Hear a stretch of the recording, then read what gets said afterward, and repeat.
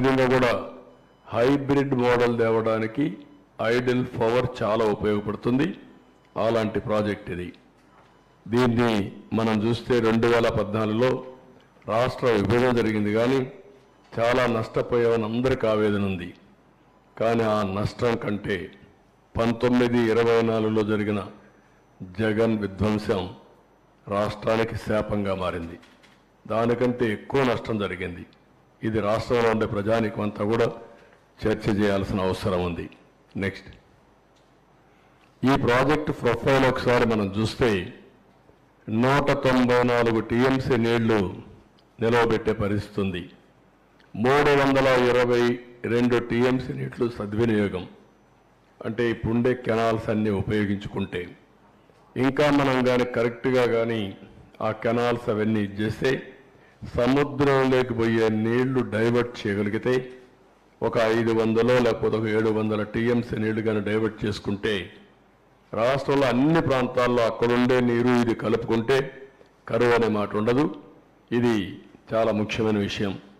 ఇప్పుడు ఈ ప్రాజెక్టులో ఉండేది ఏడు లక్షల ఇరవై వేల ఎకరాలకు సాగునీరు అందించడం ఇరవై మూడు లక్షల యాభై వేల ఎకరాలు ఆయకట్టు స్థిరీకరణ చేయడం ఇరవై ఎనిమిది లక్షల యాభై వేల మందికి త్రాగునీరు ఇవ్వడం తొమ్మిది వందల అరవై మెగావాట్ల విద్యుత్ ఉత్పత్తి వాటర్ టూరిజానికి చాలా ఇది ఉంది అవకాశం ఉంది.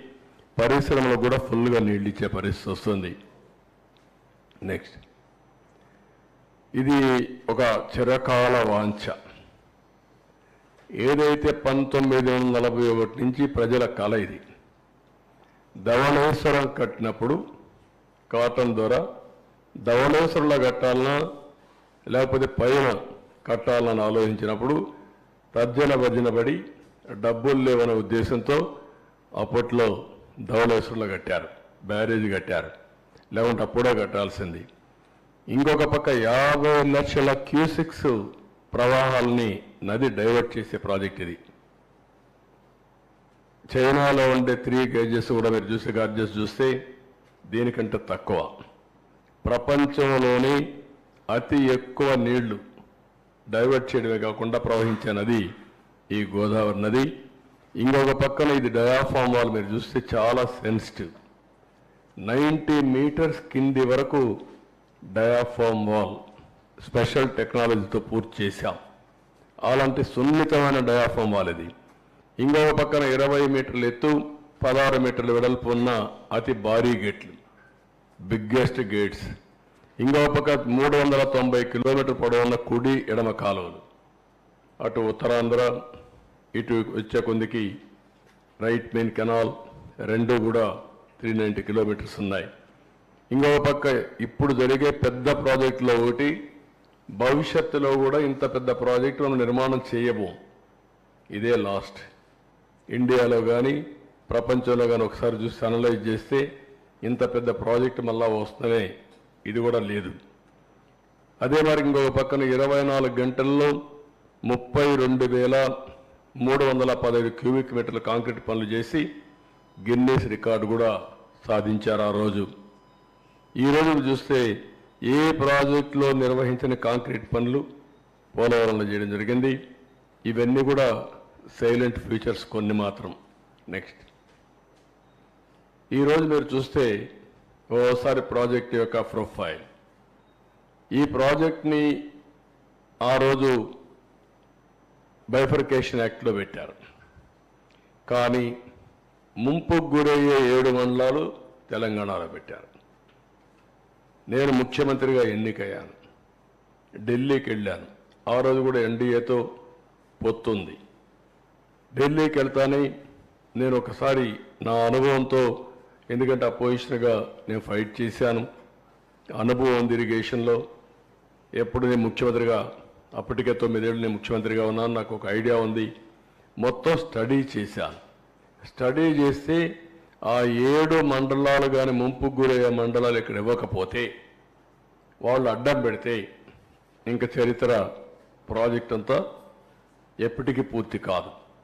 ఆ రోజు నేను ఇవన్నీ ఆలోచించి ఎట్టి పరిస్థితిలో ఒకటే కోరాను. ఆ రోజు ఎన్డీఏ ప్రభుత్వం నరేంద్ర మోడీ గారు లీడర్ ఆఫ్ ది హౌస్ అయ్యారు కానీ ప్రమాణ స్వీకారం చేయక మనము మీరు కానీ ఏడు మండలాలు మాకు ఇవ్వకపోతే నేను ప్రమాణ స్వీకారం చేసినప్పుడు వేస్ట్ అవుతుంది. అవసరాలు సాధించే వరకు నేను ప్రమాణ స్వీకారం చేయను. ఒక కాళ్ళ కాన్స్టిట్యూషన్ డెడ్ లాక్ వచ్చినా పర్వాలేదు. ఇది చాలా క్లియర్గా నేను మీకు చెప్పాలి కదా చెప్తున్నాను చెప్పి చాలా స్పష్టంగా చెప్పాను. అప్పుడు వెంకయ్యనాయుడు రాజ్నాథ్ సింగ్ ప్రధానమంత్రి మోడీ గారితో మాట్లాడి ఫస్ట్ టైం ఆర్డినెన్స్ ఇష్యూ చేసి ప్రెసిడెంట్ ఆఫ్ ఇండియాను మెప్పించారు ప్రణబ్ ముఖర్జీని. ఎందుకంటే ముందు మీరు పార్లమెంట్ మెంబర్స్ సమావేశం పెట్టారు.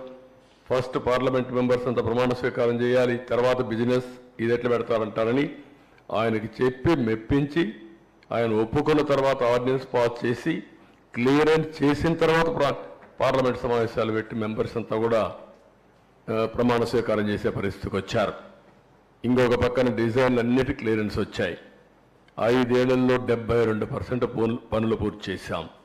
పదకొండు వేల ఏడు వందల అరవై రెండు కోట్ల రూపాయలు వ్యయం ఖర్చు పెట్టాం. డిపిఆర్ టూ యాభై ఐదు వేల ఐదు నలభై ఐదు కోట్లకు సాంకేతిక కమిటీ ఆమోదం తెప్పించాం. ముప్పై ఒక్క సార్లు క్షేత్రస్థాయి పర్యటన చేశాను ప్రాజెక్టుకి. నూట నాలుగు సార్లు వర్చువల్ రివ్యూలు చేశాను. ఎందుకు అంత శ్రద్ధ పెట్టామంటే ఈ ప్రాజెక్టు పూర్తి చేసుకుంటే రాష్ట్రంలో వ్యవసాయ రంగానికి పెద్ద ఊత వస్తుంది.